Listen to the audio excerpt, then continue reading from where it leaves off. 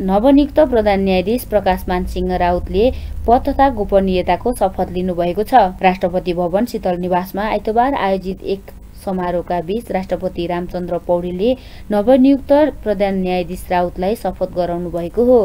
राष्ट्रपति पौडेलले राउतलाई आइतबारकै प्रधान न्यायाधीश पदमा नियुक्त गर्नुभएको थियो। शपथ ग्रहण समारोहमा उपराष्ट्रपति रामसायक प्रसाद यादव प्रधानमन्त्री केपी शर्मा ओली सभामुख देवराज दाहाल राष्ट्रिय सभाका अध्यक्ष नारायण दाहाल लगायतको उपस्थिति रहेको थियो। प्रतिज्ञा गर्छु। सत्यनिष्ठापूर्वक प्रतिज्ञा गर्छु। ईश्वरको नाममा शपथ लिन्छु कि? ईश्वरको नाममा शपथ लिन्छु कि? नेपाली जनता प्रचलित संविधान तथा अन्य कानुनप्रति नेपाली जनता प्रचलित संविधान तथा अन्य कानुनप्रति पूर्ण निष्ठावान रही। पूर्ण निष्ठावान रहे।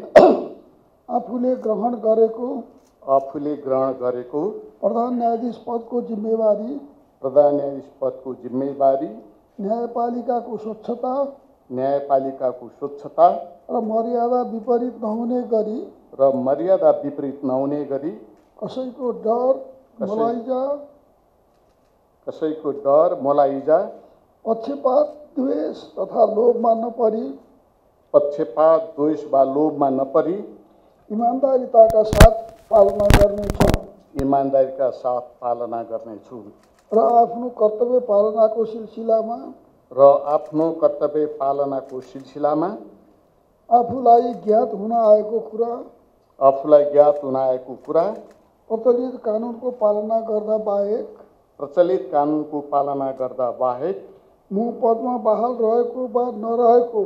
म पदमा बाल रहेको वा नरहेको? कुनै पनि अवस्थामा प्रकट गर्ने छैन। कुनै पनि अवस्थामा प्रकट गर्ने छैन।